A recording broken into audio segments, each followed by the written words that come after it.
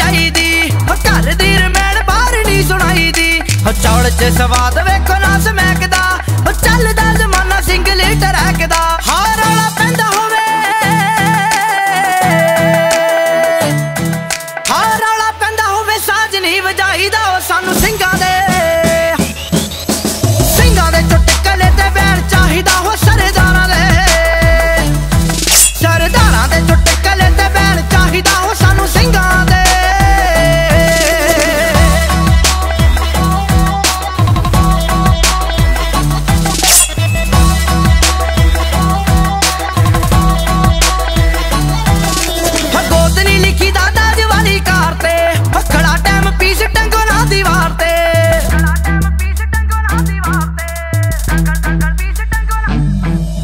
ਗੋਤ ਨਹੀਂ ਲਿਖੀ ਦਾਦਾ ਜਵਾਰੀ ਕਾਰ ਤੇ। ਓ ਕਲਾ ਟਾਈਮ ਪੀਸ ਡੰਗੋ ਨਾ ਦੀਵਾਰ ਤੇ। ਨੈਗੇਟਿਵਿਟੀ ਜੀ ਆਉਂਦੀ ਰਹਿੰਦੀ ਤੱਕ ਕੇ।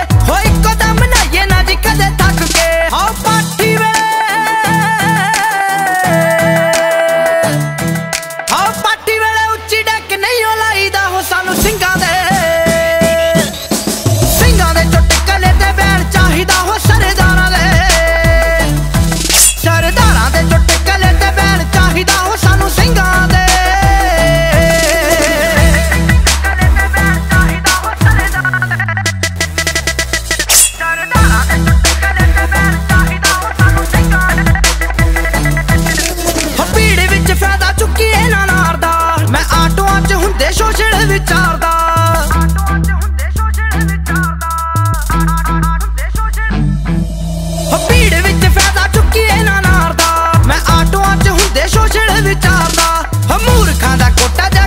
ਜੁੜਦਾ। ਹੋ ਛੋਟੀ ਵੱਡੀ ਤੇ ਕੋਈ ਤਾਗ ਮਾਨੀ ਜੁੜਦਾ। ਹੋ ਜੀਨੇ ਜੰਮੇ ਰਾਜੇ। ਹੋ ਜੀਨੇ ਜੰਮੇ ਰਾਜੇ, ਦਿਲ ਨਹੀਂ ਦੁਖਾਈਦਾ। ਉਹ ਸਾਨੂੰ ਸਿੰਘਾਂ